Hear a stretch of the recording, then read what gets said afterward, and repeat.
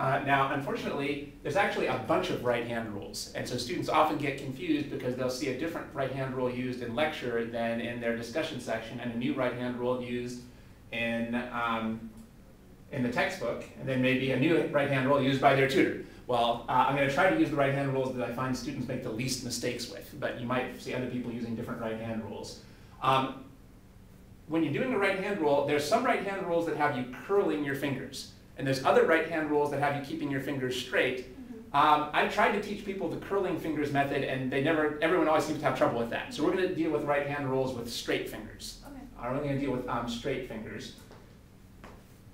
All right, so um, let's go through this. Now, it turns out that we care, this here stands for the velocity of the moving charge. I'll put it at zero here because this is the test charge. But we only care about the component of the velocity that is perpendicular to the magnetic field. I think sometimes we've used this little symbol in the past to show the component of one vector that's perpendicular to another vector. This is the component of the velocity that's perpendicular to the magnetic field.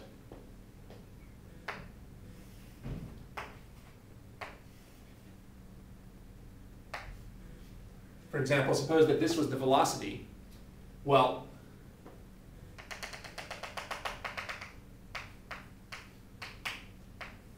this would be v perpendicular, the component of the velocity that's perpendicular to the magnetic field, and this is the only component that we care about. We're going to ignore the parallel, the component that's parallel. Do you see why I said this is pointing up? The overall vector is pointing right and up, so its component should be pointing up. Mm-hmm. Okay, so we focus on the component that's perpendicular to B. Uh, let's think about a couple of special cases.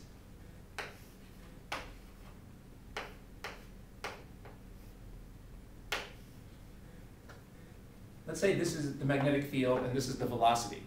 This is the velocity of the, of the test charge. What would v perpendicular be in this case? Um, you mean v perpendicular to, to b. To b? In, in, uh, in this context, v perpendicular always stands for the component of the velocity that is perpendicular to the magnetic field. So what would v perpendicular be here?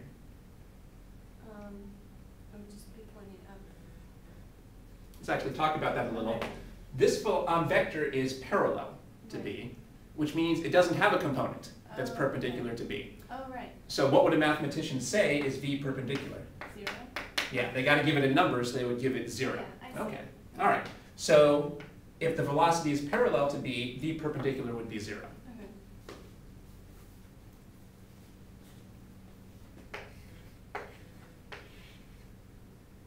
What would V perpendicular be in this case? When you're ready, take your time. Um, in that case, it would also be zero. Because here V is anti-parallel, and again, it doesn't have a component that's perpendicular. You can't try, usually we break things into components by, by drawing a right triangle, but there isn't really any right triangle that you can draw here. So V perpendicular here would also be zero.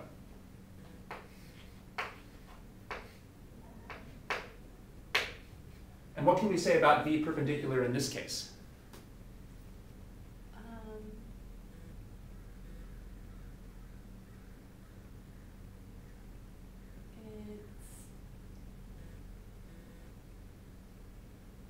maybe it's equal to V? Yeah, that's right. Didn't sound too happy about that, but that's exactly right. Yeah. In this case, the overall vector is already perpendicular to B, so there's no need to break out a component that's perpendicular to B because it's already perpendicular. So if the velocity is perpendicular to the magnetic field, then the component that's perpendicular is just that velocity itself. What would v parallel be here? Um, v. This is the component of the velocity that's parallel to b. Um, what would v parallel be in this case? It would be v, the perpendicular, I don't know what the component of v that's perpendicular to v, I'm not sure. But that doesn't quite make sense, right? No, I um, be. Because this is perpendicular to B, it doesn't have a component that's oh. parallel to B. Okay. So what number would we give this?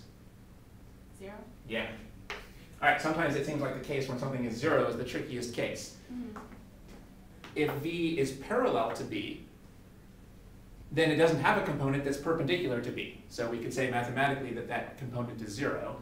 Well, if v is perpendicular to b, then it doesn't have a component that's parallel to b. So we can say this component is 0. We don't really care about v parallel, but just as an exercise, it was important to see here that the entire vector represents the perpendicular component. So none of this represents the parallel component. How about in this case? What would v parallel be in this case? Uh, it's equal to v. Yeah, in this case, the entire velocity just represents the parallel component, and the perpendicular component is 0.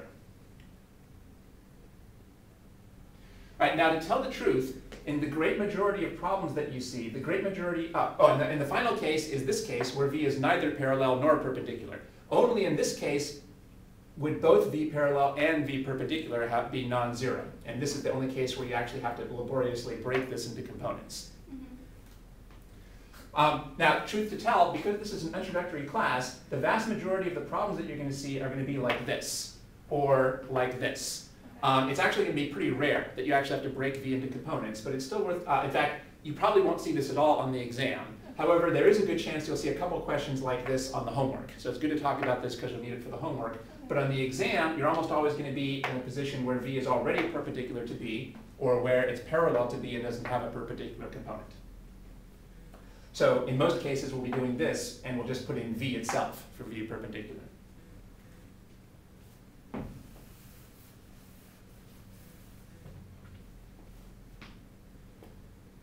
Now notice that uh, here your fingertips point in the direction of q times v.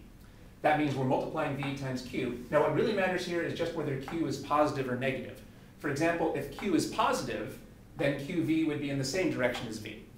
But if q is negative, then qv would be opposite to the direction of v. You saw last term that when you multiply a vector by a positive number, it keeps the same direction. But when you multiply it by a negative number, it reverses direction.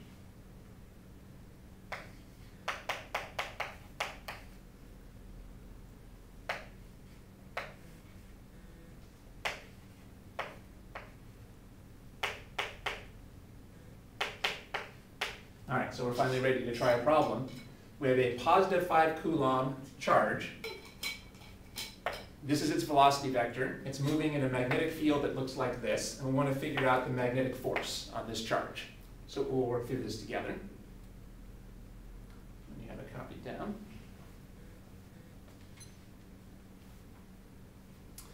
All right. Now, before we can do anything, we have to figure out what this is going to be. Well, first of all, what can you tell me about V perpendicular here?